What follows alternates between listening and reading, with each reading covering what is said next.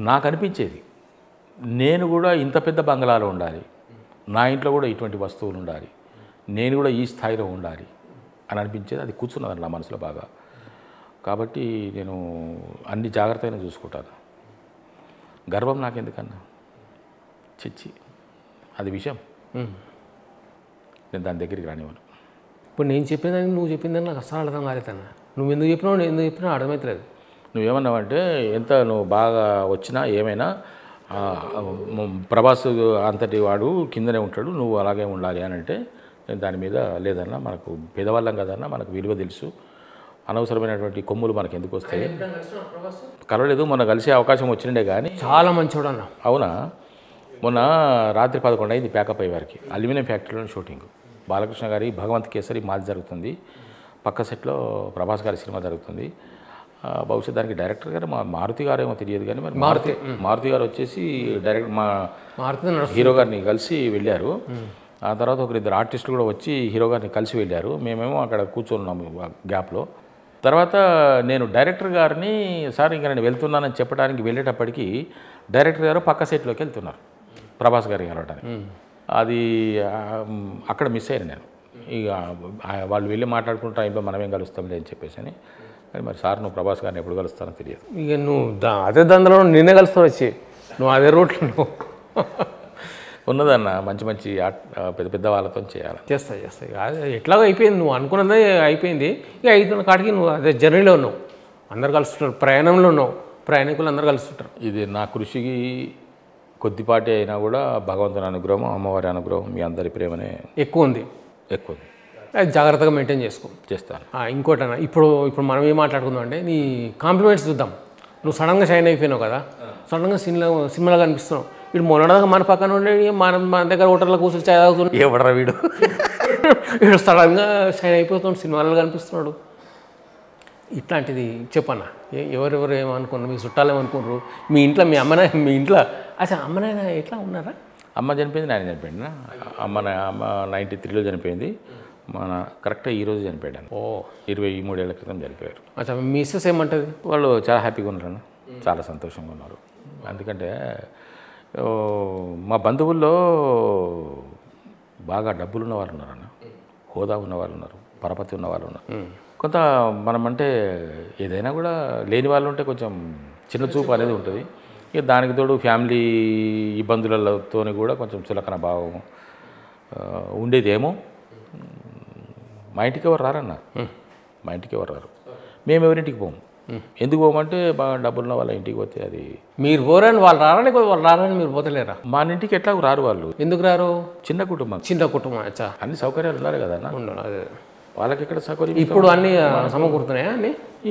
రాలేరు కదన్న. అప్పుడు రాలేదు కదన్న. అప్పుడు రాని వాళ్ళు ఇప్పుడు ఎట్లా వస్తారని రారు. సో వాళ్ళ మటుకు మనసులో కుళ్ళుగా ఉండొచ్చు. తెలియదన్న. అచ్చా మీ అన్నదమ్ములు మీ తమ్ముళ్ళు? దే ఆర్ హ్యాపీ మామ మా అన్న చూసా మా అన్న ఫుల్ చాలా హ్యాపీగా కాకపోతే ఏంటంటే మా నాన్న మా అమ్మ లేరు కదా అనేది ఒక బాధ కలుగుతుంది అంతే తప్ప వాళ్ళు ఉంటే బాగుండేది. ఏదో ఈ మాత్రం అన్న స్టేజ్ మా నాన్న మా అమ్మ చూడకపో చూస్తారు కదా. ఏదో వాళ్ళని ఒక మంచి ఒక మంచి మెత్తటి పరుపు మీద పడుకోబెడుతుంటే ఇప్పుడు. అవును.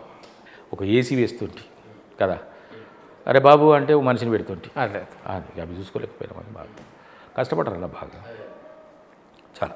సో ఇప్పుడు మొత్తానికి ఆ రూట్లో ఉన్నావు ఆ రూ మంది మంచి మంచి పాత్రలు చేస్తున్నావు. నువ్వు నీ నీ విష్ నిజం చేసుకుంటున్నావు నీ కళ్ళ నిజం చేసుకుంటున్నావు. Your dream is coming true ya I know English I can speak English speed speed English like Britisher అవును. You should understand and now I'm asking who is your favourite now who is your favourite heroine from olden days మనసు అసలు హీరోయిన్లు ఎవరో తెలియదు నాకు. కానీ నిన్న మొన్న శ్రీలీల చాలా బాగా ఆప్యాయంగా దగ్గరికి వచ్చి మాట్లాడుతున్నది శ్రీలీల. ఆమెను మొన్న మొన్నే మొట్టమొదటిసారి చూడటం నేను. ఇక ఈ సారు చురు చేసిండు ఇక అట్టగాలు మంచిగా మాట్లాడుకున్నాం కావాలంటే కెమెరా బంద్ చేసాం దిల్కి దడకను ఎవరు లేరన్న నాకు? నాకు ఎవ్వరు తెలియదు. నేను ఎవరు జోలికి పోను. జోలికి పోనంటే నా ఉద్దేశం కాదు. నువ్వు నువ్వు జోలికి పోవు నువ్వు మంచివనివే చాలా మంచివని నీ మనసు నీకంటే ముందు దొరుకుతుంది కదా. ఊరకదు ఎన్- నేను సెట్లోకి వెళ్తే నా క్యారెక్టర్ ఏమిటి నా వ్యవహారం ఏంటి ఎంతవరకు చూసుకొని బయటకు వచ్చేస్తే తప్ప చెట్ల గురించి అంటలేను నన్ను యాక్టర్ కాకముందు నీ సి సినిమాలు చూసేటప్పుడు నీ ఫేవరెట్ హీరోయిన్. నా హీరోయిన్ వాణిశ్రీ గారే. నా హీరోయిన్ అంటే I mean what what I mean to say Vanisri గారిలాగా కష్టపడ్డి కష్టపడి ఎంత కష్టపడ్డది సార్ ఆమె? ఆమె జీవిత చరిత్ర ఒకసారి చూసుకుంటే వాణిశ్రీ గారిని చెలికత్తె వేషం నుంచి టాప్ హీరోస్ అయినటువంటి నాగేశ్వరరావు గారు రామారావు గారి కంటే ఎక్కువ పారితోషం పారితోషికం తీసుకున్న మొట్టమొదటి హీరోయిన్ ఆవిడే. ఇప్పుడు ఇంకోటి అడుగుతాం ఇంకోటి తెలుసుకుంటాను నీ గురించి. అప్పట్లో బ్లాక్ అండ్ వైట్ జమానా నువ్వు అన్న జమానా నుంచి ఎన్టీఆర్ గారి హీరో ఉన్నప్పటి నుంచి క్లబ్ డ్యాన్స్లు అని ఉంటుండే ఇప్పుడేమో ఐటమ్ సాంగ్లు అంటుండ్రు ఇప్పుడు హీరోయిన్లే చేస్తుండ్రు. ఆ క్లబ్ డాన్స్లలో ఎవరెవరు చేస్తున్నారు నీకు తెలుసా? అవును మేడం జ్యోతిలక్ష్మి గారే కదా. అందరినీ మేడం పిలుస్తాను పెద్దవాళ్ళు. మరి మొగలను సార్ ఎందుకు పిలుస్తలేను వారు అంటున్నాను గారు అంటున్నాను. వీళ్ళేమో మేడం అంటావాను? ఆ మేడం అన్నాను. జయమాని మేడం. జ్యోతిలక్ష్మి గారు అంటేనే బాగా ఇష్టం. ఎందుకంటే మా అప్పుడు ఆ అరవై ఐదు అరవై ఆరు ప్రాంతంలో ఆవిడ డ్యాన్స్ వచ్చింది అని అంటే ఒక జోష్ వచ్చేది. ఎల్లారీశ్వరి గారి పాటలు దానికి తోడు. లే లే. లేస్తుండే ఆడియన్స్ వేసుకో కోక కోలా తీసుకో రమ్ము సార్. అచ్చా జ్యో- జ్యోతిలక్ష్మి అంటే ఇష్టం నీకు? మానిశ్రీ అంటే ఇష్టం? ఎన్టీఆర్ అంటే ఇష్టం? ఇప్పుడు ఇప్పుడు ఇప్పుడు ఇప్పుడు లెక్క చూస్తే? అందరి ఇష్టమే కానీ దీంట్లో ప్రత్యేకించి అని చెప్పాల్సిన పని లేదు కానీ కొంచెం బాగా ఎక్కువ కష్టపడతాడని నా మనసుకు అనిపిస్తుంది. అల్లు అర్జున్ గారు అంటే ఇష్టం. ఎందుకంటే వారి గంగోత్రి సినిమా నుంచి మొదలు పెట్టుకుంటే ప్రయాణం ఈ రోజున పుష్ప వరకు. ఒక్కొక్కటి ఒక్కొక్కటి. నీలా ఆయన కూడా కష్టంగా నమ్మించు నమ్మించుకున్నాడు నమ్మున్నాడు నమ్మినోడు. అంతే అన్న. కష్టపడితేనే ఫలితం వస్తుంది పైన గొప్పతనం ఏంటంటే ఒకటి చెప్పాలి మనం. అన్ని ఆడియో ఫంక్షన్లు సినిమా ఫంక్షన్లు ఉంటాయి కదా ప్రీ రిలీజ్ ఫంక్షన్లు. ఆయన ఒక నిమిషం అందరిని ఆపి ఆ సినిమాలో పనిచేసిన అందరి గురించి చెప్తాడు. మన మురళీధర్ గౌడ్స్లో స్పెషాలిటీ ఏంటి స్పెషాలిటీ. ఏం లేదన్న. No speciality. నా లోపల స్పెషాలిటీ లేదు. Nothing special. నేను ఒక సాధారణ స్పెషల్ అబౌట్ మురళీధర్ గౌడ్. ఏం లేదన్న.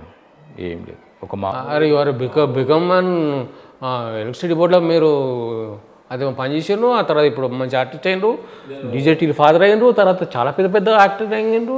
నేను ఒక మంచి గుడ్ వర్కర్ అని మా డిపార్ట్మెంట్లో పేరు తెచ్చుకున్నాను. వెరీ గుడ్ వర్కర్ అని డిపార్ట్మెంట్ నాకు కాన్ఫిడెన్షియల్ రిపోర్ట్స్ ఉంటాయి సిఆర్స్ ఉంటాయి. ఆ తర్వాత ఏఆర్స్ ఉంటాయి annual appraisal reports CRs confidential reports వీటిలలో ఎక్కడ చూసుకున్నా కూడా చాలాసార్లు నా గురించి రాసిన కామెంట్ వివిధ ఆఫీసర్స్ రకరకాల ఆఫీసర్స్ రాసిన నోట్స్ రిమార్క్స్ ఏంటంటే he's an asset he's an asset so మరి ఇదేంటి? Your speciality? హార్డ్ వర్కర్ ఇటువంటి ఇటువంటి కామెంట్స్ నాకు రాస్తే వీటిని చూస్తే నాకు చాలా ఆనందం అనిపించింది ఈ సినిమాలో కూడా చాలా మంది అంటున్నారు కదా is very good as father character అంటున్నారు అన్న. అంటున్నారు కాబట్టి నీకు గిరాక్ ఫుల్ వస్తుంది. పైగా విచిత్రమైన గిరాకీ ఇది. ఇప్పుడు ఇప్పుడున్న పరిస్థితులు. ఇప్పుడున్న పరిస్థితులు తల్లిదండ్రులకు పెద్ద క్యారెక్టర్ లేవు. క్యారెక్టర్ అవసరం లేదు ఇవాళ రేపు కథలకి. హీరో హీరోయిన్లో లవ్ స్టోరీ కాలేజ్ కథ ఆఫీస్ కథ సాఫ్ట్వేర్ కథ చూపిస్తే అయిపోయాయి. వాళ్ళ అమ్మాయిని ఒక సీన్లో రెండు మూడు సీన్లలో కనిపిస్తే చాలు.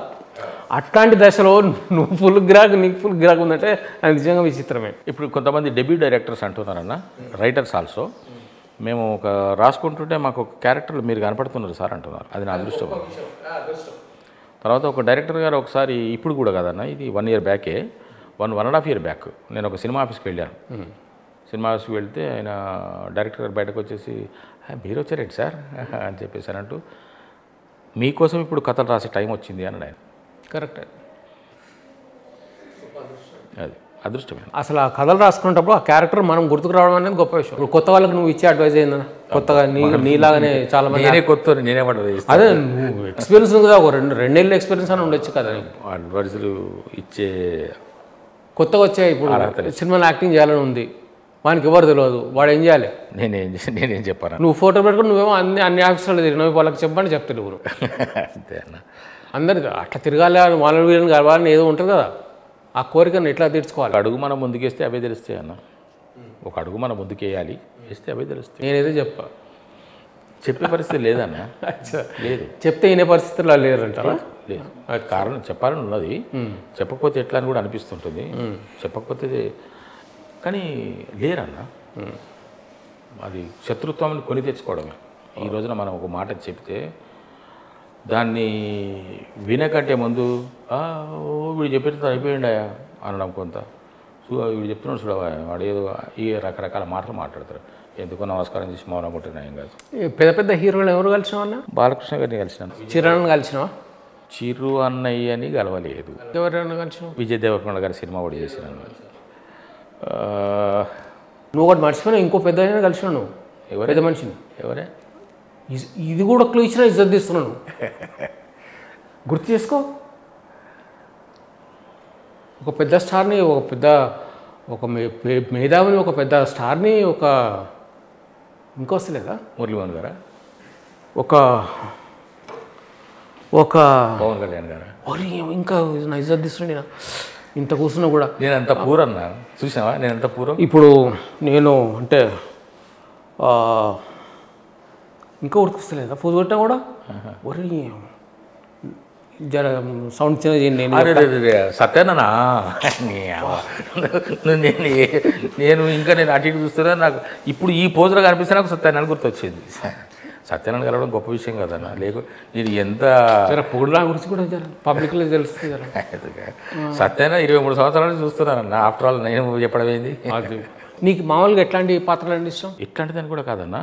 ఒక డైరెక్టర్ తను ఆలోచించి ఈ క్యారెక్టరు బాగా ఉండి ఈ క్యారెక్టర్ ఎవరు చేయగలరు అని చెప్పేసి అనుకుంటే నేను ఆయన దృష్టికి రావాలి. ఆ పాత్రను నేను సజీవంగా ఆయన ముందు నిలబెట్టాలన్నది నా కోరిక. అటువంటి పాత్రలు చేయాలన్నదన్న. ఇవి ఈ రొటీన్గా చేసేటి చేసుకుంటూ వెళ్దాము. కానీ చిరస్థాయిగా నిలిచిపోయే క్యారెక్టర్స్. బాగా పర్ఫామ్ చేశాడు ఈయన అద్భుత ఎంత బాగా చేశాడు అండి అని చెప్పేసి అనుకున్నటువంటి పాత్రలు నాకు రావాలనే కోరిక బలంగా ఉన్నదన్న. అవి రావాలని కోరుకుంటున్నా కూడా. తప్పకుండా జరుగు జరిగి తీరుతుంది కూడా. ఇంకా డైరెక్షన్ ఇట్లా ఏమన్నా ఇష్టమా? డైరెక్షన్ డైరెక్షన్ చేయడం లాంటిది? లేదన్న. నేను ఇంకా దేనికి పోనన్న? దేనికి పోను? కేవలం ఇది చేసుకుంటూ పోతా. ప్రశాంతంగా ఉండాలి.